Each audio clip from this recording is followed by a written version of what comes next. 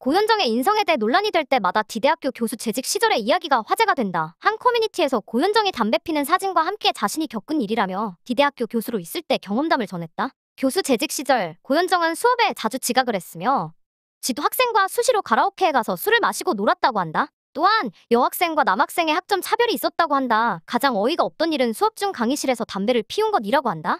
다른 학부모가 항해 전화까지 하였으나 과 대표가 학생들에게 어쩔 수 없는 부분이라며 설득 같은 통보를 했다고 한다. 담배를 피운 건물은 지하 강의실이며 금연구역이라고 한다. 연기 교육자 담배를 피우는 상황이 아니라 매 수업 시간에 10회 정도 흡연을 했으며 종강까지 계속 그랬다고 한다.